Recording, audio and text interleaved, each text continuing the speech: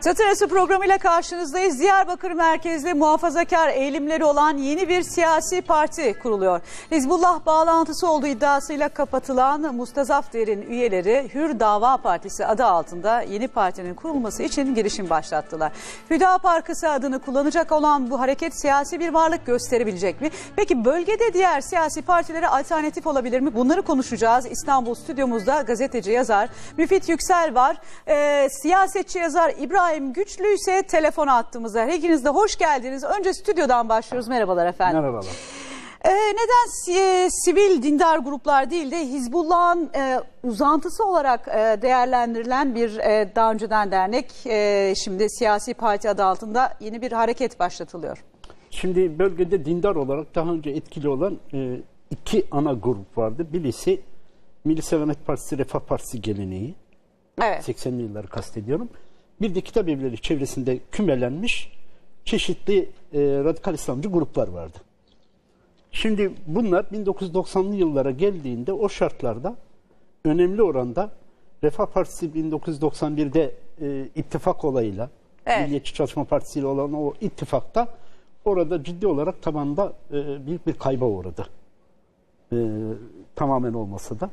E, radikal İslamcı gruplar ise kitap evleri çevresinde kümelenmiş olan birçok çeşitli irili ufaklı radikal İslamcı gruplar var ve çok ciddi bir gençlik potansiyeli vardı. 1990'lı yıllarda Soğuk Savaş döneminin bitmesi, ideolojilerin tükenmesinin ardından o radikal söylemlerin artık ciddi bir taban bulmamasından ve halkla zaten barışık olmayan, halkın dindarlığıyla barışık olmayan, daha böyle radikal selefi e, vesaire söylemler sergilendiği için büyük oranda onlar da çözülmeye uğradı. Yani bir dönüşüm e, sağ- evet. sağlandı. Evet. Ee, Hizbullah dediğimiz ilim e, kitabevi çevresinde daha çok kümelenen, yeni bir kitabevi çevresinden çıkan ama o dönemde silahlı eylemler içerisine girebilen e, hemen hemen yegane İslami gruptu evet. e, o bölgede.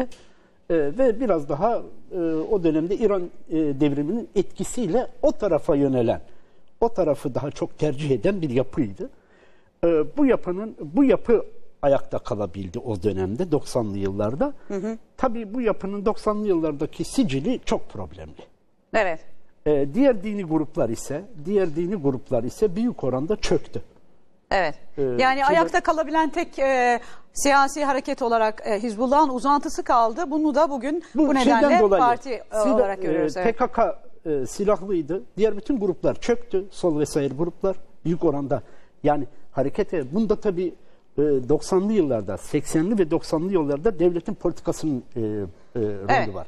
Yani devlet o dönemlerde e, hedeflerimiz tekleşsin, e, orada çok fazla grup olmasın, tek gruplar olsun, bu tek gruplarla çok daha iyi kontrol edebiliriz mantığıyla hareket etti ve birçok şeyler tasfiye oldu. O yüzden orada. tek onlar kaldı ve o nedenle. Evet, diğer gruplarda yani dernekler kapatıldı vesairede. İsterseniz hemen bir telefonumuza dönelim. Ee, efendim İbrahim Bey, sicili problemli olan bir siyasi hareket bugün e, demokratik bir mücadeleyi ne ölçüde sizce sergiler? Ne diyorsunuz siz? Telefon düşmüş herhalde. Tekrar e, Şimdi burada size aynı soruyu sorayım. e, burada e, tabii 10 yıl geçti. 10 yıldır, e, 10 yıldan fazladır e, Hizbullah'ın silahlı bir hareketini ya da işte bu ilim çevresinin bir silahlı hareketini vesaire görmedik. Evet. Kendileri de işte kendilerini kritik ettiklerini falan söylüyorlar. Çeşitli çevrelerle gözüküyorlar. Ama tabii 90'lı yıllardaki şeyler ister istemez bir kuşku oluşturuyor. Oluşturmuyor değil. Bundan sonrasına e, e, bakmak belki gerekir. Bundan sonra böyle bir yani bir tecrübe etmek veya test etmek gerekebilir. Yani siyasi parti izleyecekler sonuçta. Bir siyasi parti olarak e, ne yapabilirler, ne edebilirler. Bir de orada baktığımız zaman, o bölgeye baktığımız zaman halk hala ciddi olarak dindar. Çünkü Hazreti Peygamber'e saygı mitinglerine vesaire baktığımız zaman e, o mitinglerde yüz binler toplanabiliyor. Evet. PKK o öyle bir topluluğu toplayamıyor. BDP ya da PKK toplayamıyor. Yani böyle bir e, harekete ihtiyaç vardı diyorsunuz. Evet, çünkü zaten ama bu dindar topluluklar e, örgütlü değil. Tek tek birey. Evet. Tek tek bireylerden oluşuyor. Böyle bir dindar harekete ihtiyaç var. Ha Hüdapar bunu nasıl sağlayabilir? 90'lı yıllardaki bu Evet. sicili temizleyebilir mi? Bunu gün şeyler gö- e, gelecek Evet. gösterecek. Şimdi hemen telefon hattımıza dönüyoruz. İbrahim Bey e, duydunuz herhalde biraz önce böyle bir dindar harekete özellikle bölgede ihtiyaç olduğunu söyledi Müfit Bey. Siz buna katılıyor musunuz? Sicili 90'lı yıllarda problemli olan bir e, siyasi hareket bugün demokrasiye sarılabilir mi? Evet, siyasi hareket bugün demokrasiye sarılabilir mi? Şimdi öncelikle şunu söyleyeyim. Benim daha önce de, de Hizbullah üzerinde yaptığım araştırmalar yazılarda da e, açıkça ben onları e, PKK'nın biraz siyam ikizi olarak değerlendirdim. Çünkü PKK'de Evet. Efendim televizyon sesini biraz kapatabilir misiniz? Sizi e, iyi duymamız açısından çok daha iyi olur. Yankılanıyor çünkü sesimiz. Evet sizi dinliyoruz. E, siyam ikizleri olarak değerlendiriyorum. Siyam ikizleri, PKK'nın Siyam ikizleri.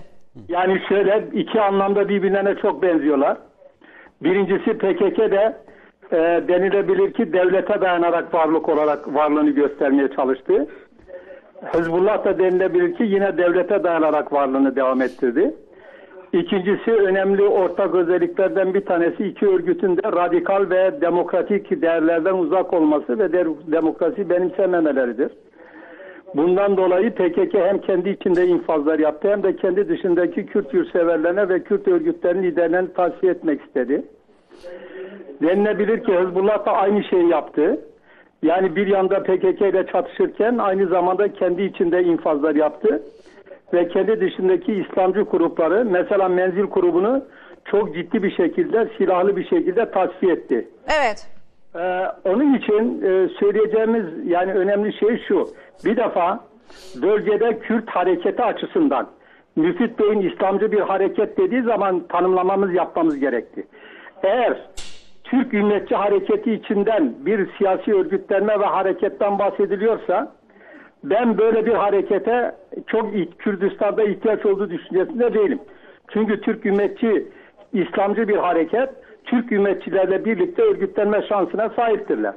Mesela geçmişte Refah ve Partisi içinde Fadilet Partisi'nde örgütlenmişlerdi. Büyük ihtimalle da eğer demokratikleşmişlerse ölümlü AK Parti içinde örgütlenme şansları var. Tartışılan konu şu. Kürdistan'da yani Kürt bölgesinde bir İslamcı harekete ihtiyaç var mı? Evet ben de o düşüncedeyim. Fakat Hizbullah hareketinin bir İslamcı ve Kürt hareketi ve Kürdistan hareketi olabileceği konusunda kuşkular büyüktür. Her ne kadar kendilerini Kürt olarak tanımlamış olmalarına rağmen Evet. 1979'da Hizbullah e, Hümeyni hareketinde derinden etkilenen e, denilebilir ki e, Lübnan Hizbullah'ına benzeyen ama e, Lübnan Hizbullah'ı e, bir biliyorsun şeriatçı bir e, e, Şii bir devlet kurmak istiyor. E, Türkiye Hizbullahçıları ise biliyorsunuz e, Sünni bir e, nitelikli bir devlet kurma amacındaydılar. Evet. Şu anda şu anda geçmişten koptuklarını söylüyorlar. Eğer geçmişten koparak bir Kürt grubu olarak örgütlenmesi onların hakkıdır. Tabii ayrıca da e, bir Kürt ve Kürdistan hareketi olarak ortaya